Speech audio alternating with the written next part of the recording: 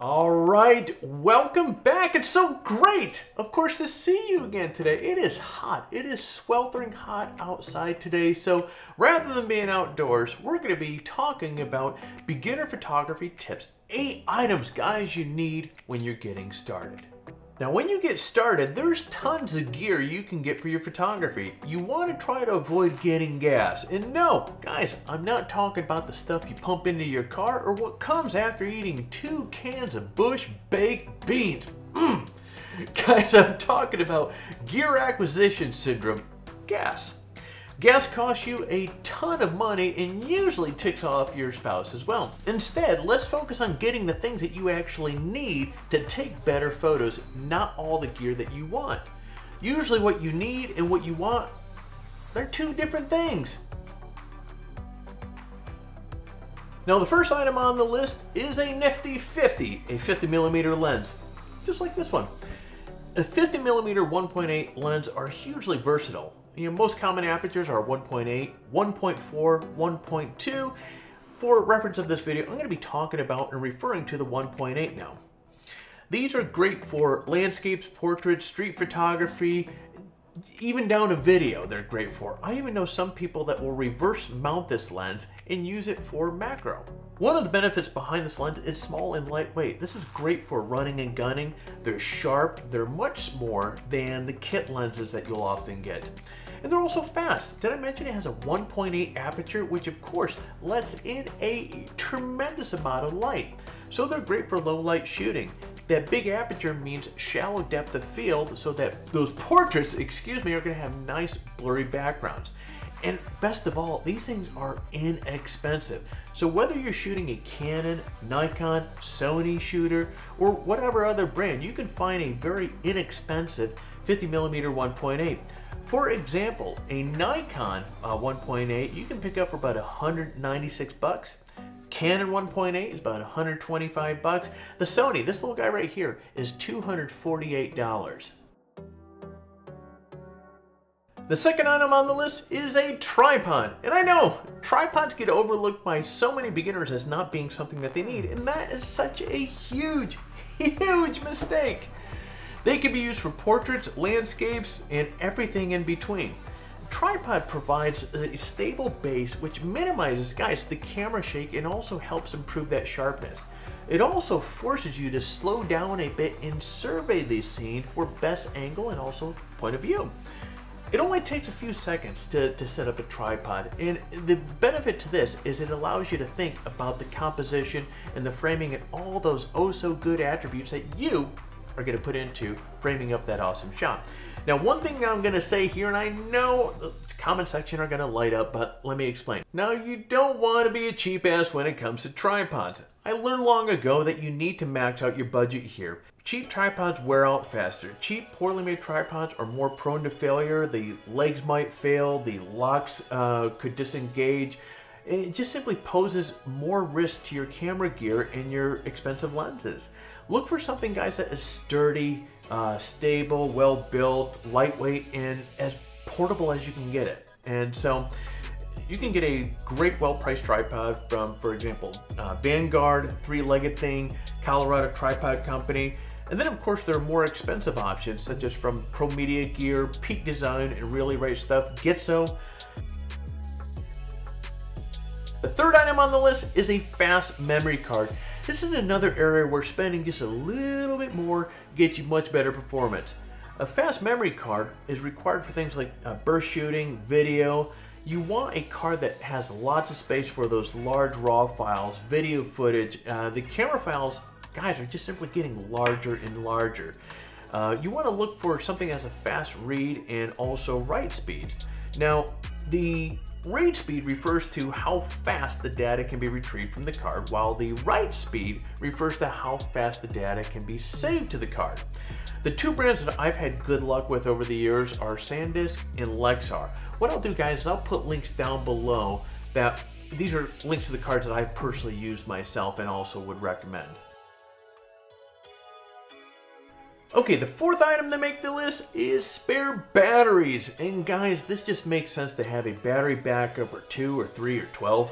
it's kind of a no-brainer here. Maybe 12 is a little bit high, but you get the point.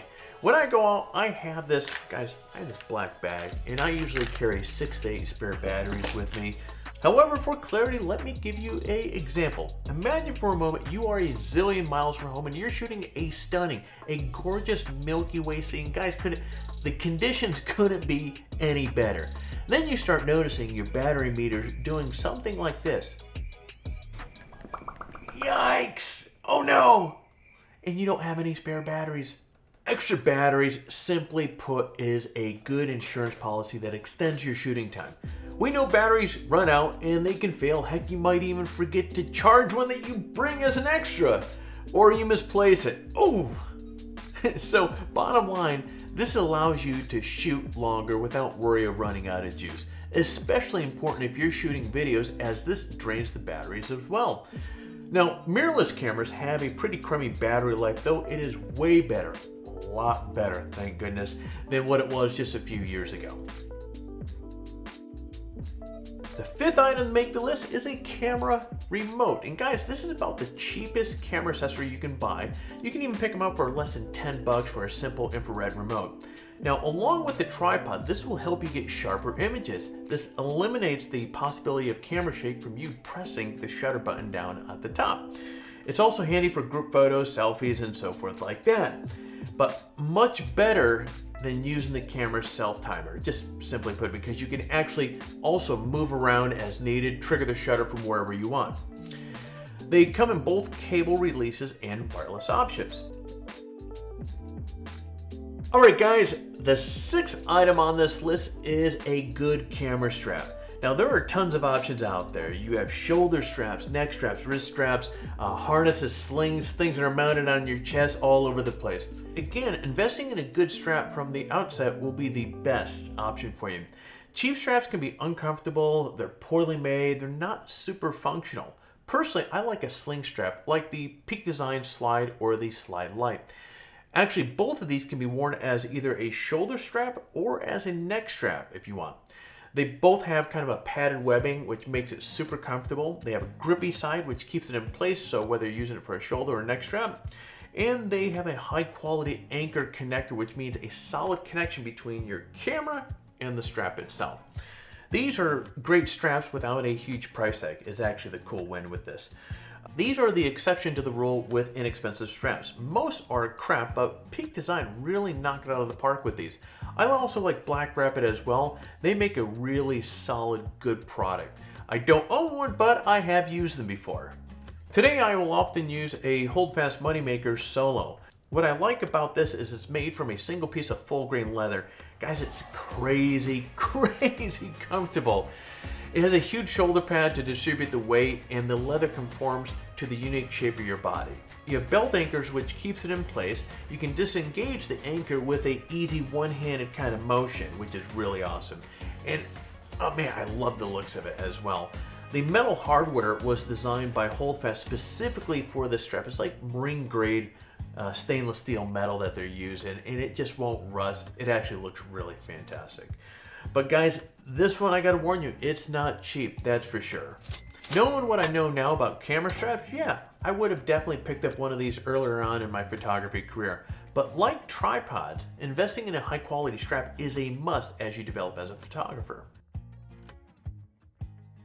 Alright guys, the seventh item, and we're to talk about editing software. Post-processing is not an optional exercise, it's a must-do to get the best photos. And it doesn't necessarily need to be one of the big boys like Lightroom or Photoshop, although those are pretty awesome programs. Uh, there are a ton of inexpensive or even free options, like for example GIMP. You have Luminar 3, Exposure X4. Taking the time to learn how to crop, straighten, and use the layers will pay huge dividends with image quality. It's all about enhancing your photos and bringing out the details in them. You want to strive to get things right right out of the camera and rely on post-processing for enhancement, not for fixing dumb mistakes. The eighth item on the list is camera and lens cleaning kits.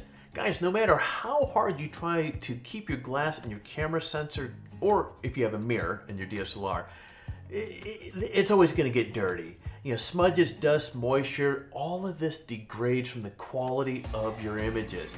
It's a drag, really, it is to, to sit there and just like in post-processing, cleaning up all the dust spots. Just keep your camera and your lenses clean. Can't stress the importance of this. Cleaning kits are dirt cheap and include tons of tools as well. You have microfiber cloths, lens wipes, blowers, and so forth. Routine cleaning will extend the life of your camera and lenses and might help avoid major issues cropping up that require professional fixes, which guys can be expensive. And there you guys go, eight items that will get you off to a good start. Now, if you enjoyed this video, found it to be helpful, be sure to like the video down below, hit the bell to be notified when we come out with new videos. And also, if you are not subscribed to the channel, guys, please subscribe, it does help. Until then, we're going to see you next time. So you guys get out there and the biggest tip of all, get out there and practice. Practice as much as you can. Enjoy, guys.